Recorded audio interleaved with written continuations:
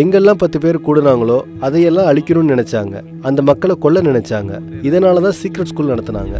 வேற இடத்துல பிழைச்சு வாழணுங்கிறதால உயிர் வாழறதுக்கு பல்வேறு ட்ரிக்குகளை அவங்க உருவாக்கிக்கிட்டாங்க. அவங்களுக்குள்ளேயே பரிபாஷைகள் உருவாக்கிக்கிட்டு அது மூலமா தொடர்பு கொண்டிருக்கிறாங்க. எங்கெல்லாம் வடிவியலுக்கு அதிகப்படியான முக்கியத்துவம் கொடுக்கப்பட்டுச்சோ அங்கெல்லாம் நிச்சயமா யோகிகள் போயிருக்கணும்னு நாம கருதுறோம்.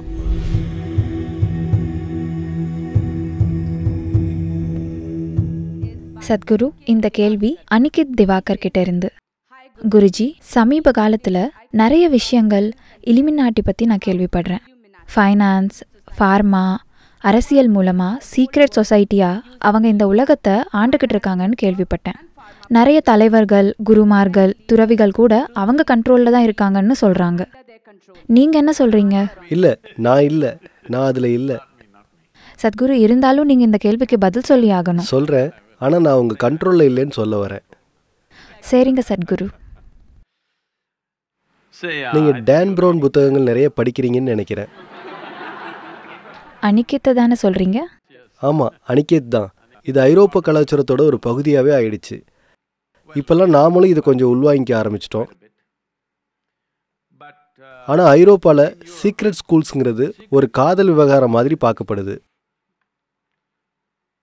இன்னைக்கு ரொம்ப பிரபலமா இருக்கிறவங்க கூட சாக்ரட்டிஸ் அரிஸ்டாட்டில் இவங்கெல்லாம் கூட சீக்ரெட் ஸ்கூலோட அங்கமா இருந்திருக்கிறாங்க. எதுக்காக இப்படி சீக்ரெட் ஸ்கூல் உருவாக்கணும்? ஏன்னா சமூகம் எப்படி இருக்குன்னா தன்னோட உடன்படாத விஷயங்களை அழிச்சிடணுங்கிற மனநிலையில இருக்கு. அழிச்சிடணும். எங்க அழித்தல் இருக்கோ அங்கதான் ஒரு ஸ்கூல் சீக்ரெட் ஸ்கூலா ஆகும். இல்லைங்களா? சீக்ரெட் ஸ்கூல் பாரம்பரியம் ஐரோப்பாவில் அதிகமாக இருக்க காரணம் என்னன்னா பழமைவாத மத நம்பிக்கைகள் எல்லாத்தையுமே முடக்கி வச்சது தான் எங்கெல்லாம் பத்து பேர் கூடுனாங்களோ அதையெல்லாம் அழிக்கணும்னு நினச்சாங்க. அந்த மக்களை கொல்ல நினச்சாங்க. இதனால தான் சீக்ரெட் ஸ்கூல் நடத்தினாங்க. இதில் நீங்கள் இலுமினாட்டின்னு சொல்கிற விஷயம் பின்னாட்களில் ஃப்ரீ மேசனாக மாறிச்சு. இதுக்கு ஒரு வரலாறு சொல்கிறாங்க என்னால் ஊர்ஜிதமாக இதை சொல்ல முடியல. ஒரு சில புத்தகங்களில் ஃப்ரீமேசன்ஸ் இந்திய கொத்தனார்களால் தொடங்கப்பட்டு பின்னாட்களில் எகிப்துக்கு போச்சுன்னு எழுதியிருக்காங்க. வேற இடத்துல பிழைச்சு வாழணுங்கிறதால உயிர் வாழறதுக்கு பல்வேறு ட்ரிக்குகளை அவங்க உருவாக்கிக்கிட்டாங்க. அவங்களுக்குள்ளேயே பரிபாஷைகள் உருவாக்கிக்கிட்டு அது மூலமாக தொடர்பு கொண்டிருக்கிறாங்க. அவங்களுக்குள்ள ரகசிய பாஷையில் தான் பேசிக்கிட்டாங்க. அதன் மூலமாக விரோத போக்கில் செயல்பட்ட அந்த கலாச்சாரத்தில் உயிர் பிழைச்சு வாழ்ந்தாங்க. அங்கே இருந்து தான் இது பரவிச்சு. இப்படித்தான் சில புத்தகங்களை எழுதியிருக்காங்க. ஆனால் இதை ஊர்ஜிதப்படுத்துகிற மாதிரி வரலாற்று ஆதாரங்கள் இல்லை. ஆனால் இது நடக்க சாத்தியம் இருக்குது இங்கேருந்து கொத்தனார்கள் போனாங்க. இந்தியால இருந்து போனவங்க கல்வேலைகள் செஞ்சாங்கன்னும் பிரமிடுகள் கட்ட பால்பெக் கோயில் கட்டினாங்கன்னு நமக்கு தெரியும். இதுக்கு தெளிவான ஆதாரங்கள் இருக்கு. பால்பெக் கோயில் லெபரானில் இருக்கு. கிட்டத்தட்ட நாலாயிரத்தி இருநூறு நாலாயிரத்தி முந்நூறு ஆண்டுகள் பழமை வாய்ந்தது. ஒரு பினிஷியன் கோயில் இந்திய கொத்தனார்களால் கட்டப்பட்டிருக்கு. இந்திய யானைகள் வேலையில் பயன்படுத்தப்பட்டிருக்கு.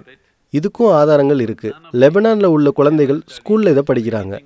ஆனா எந்த ஒரு இந்திய குழந்தையும் இது பத்தி படிக்கல. இந்திய வரலாற்று புத்தகங்கள்லயும் துரதிருஷ்டவசமா எங்கேயுமே எழுதப்படல. எப்படியோ பின்னாட்கள்ல இது ஃப்ரீ மேசன்ரி ஆச்சு. ஃப்ரீ மேசன்ரி ரொம்ப வலிமையான வடிவம் எடுத்துச்சு. அந்த இயக்கம் அமெரிக்காவுக்கு போனப்போ ரொம்ப ரொம்ப வலிமையாச்சு. ஏன்னா அங்கே நிலவி வந்த கிறிஸ்துவ ஒடுக்குமுறைகளால் இதோட பலம் அதிகரிச்சிச்சு. சுதந்திரமாக யோசிக்கிறவங்க தங்களை ஃப்ரீ மேசன்னு சொல்லிக்க ஆரம்பித்தாங்க பேரில் தான் மேசன் கொத்தனாரும் சொல்லிக்கிட்டாங்களே ஒழிய அவங்க அந்த தொழில் செய்யலை. ஆனால் நீங்கள் ஒரு விஷயத்தை கவனிக்க முடியும். எங்கெல்லாம் ஃப்ரீ மேசன் இருந்தாங்களோ அங்கெல்லாம் கட்டிட டிசைன் ரொம்ப அற்புதமாக இருக்கும். நான் நிறைய ஃப்ரீ மேசன்கள் கட்டின கோவில்களுக்கு போயிருக்கேன். சும்மா அவங்க கட்டிடங்களோட டிசைன் எனக்கு ரொம்ப பிடிச்சதால போனேன். அற்புதமான டிசைனில் கட்டியிருக்காங்க. அந்த கலாச்சாரத்தோட ஒரு அங்கமாகவே வடிவியல் முறைகள் இருந்திருக்கு. இந்த காரணத்தால் தான் அவங்கள பற்றி புத்தகங்கள் எழுதுகிறவங்க இவங்கெல்லாம் இந்தியாவிலேருந்து வந்ததாக வந்ததை குறிப்பிடுறாங்கன்னு நினைக்கிறேன். ஏன்னா இந்தியாவோட யோக கலாச்சாரம் வடிவியல் ஒருங்கமைப்பில் முழுமையாக தன்னை ஈடுபடுத்திக்கிச்சு. யோகானா ஒரு விதத்தில் உங்கள் உடலமைப்போட வடிவியலை இந்த பிரபஞ்சத்தோட வடிவியலோட ஒத்திசைவாக வச்சுக்கிறதுன்னு சொல்லலாம். இதன் மூலமாக உங்கள் வாழ்க்கை அனுபவம் மேம்பட்டு எது நீங்களாக இருக்கீங்க எது இந்த பிரபஞ்சமாக இருக்குது இது இரண்டும் ஏதோ விதத்தில் நீங்கள் அந்த அண்டத்தோட பிரதிபலிப்பாகவும் இல்லைன்னா அந்த அண்டம் உங்களோட பிரதிபலிப்பாகவும் ஆயிடும். இதை நீங்கள் எப்படி பார்க்க விரும்பினாலும் சரி எங்கெல்லாம் வடிவியலுக்கு அதிகப்படியான முக்கியத்துவம் கொடுக்கப்பட்டுச்சோ அங்கெல்லாம் நிச்சயமா யோகிகள் போயிருக்கணும்னு நாம கருதுறோம். ஏன்னா அந்த காலத்துல உள்நிலையில நீங்க வேலை செய்யாட்டி இந்த அளவுக்கு நீங்கள் வடிவியலோட ஒன்றியவராக இருக்க மாட்டீங்க. இப்பெல்லாம் மக்கள் வடிவியல் படிக்கிறாங்க நிச்சயமாக வெளிநிலையில தான் படிக்கிறாங்க. ஆனால் அந்த காலத்தில் வடிவியலை புரிஞ்சுக்க ஒரே வழி உங்களோட சுய உருவத்தை ஆழமாக புரிஞ்சுக்கிறது மூலமாக தான் முடியும். இந்த உடம்பு எப்படி உருவாக்கப்பட்டிருக்கு? கிரகங்களை கூர்மையாக கவனித்து ஏற்படுற விண்வெளி அதிசயங்களை பார்க்கறது மூலமாக கற்றுக்கிட்டாங்க அதனால் ஒரு காலத்தில் அவங்க ஒரு சில விஷயங்களை கட்டுப்படுத்தக்கூடிய ஆற்றலோட இருந்தாங்க. ஆனால் என்னை பொறுத்த வரைக்கும் எல்லா சீக்ரெட் ஸ்கூல்ஸ் பற்றியும் ரொம்ப மிகைப்படுத்தி தான் இப்போல்லாம் பேசுகிறாங்க அனிக்கேத் நீங்கள் கவலைப்பட தேவையில்லை. இப்போல்லாம் அவங்க எதையுமே பெருசாக ஒன்றும் கட்டுப்படுத்துறது இல்லை டொனால்ட் ட்ரம்ப் தான் நிறைய விஷயங்களை தன்னோட கட்டுப்பாட்டில் வச்சுருக்காரு.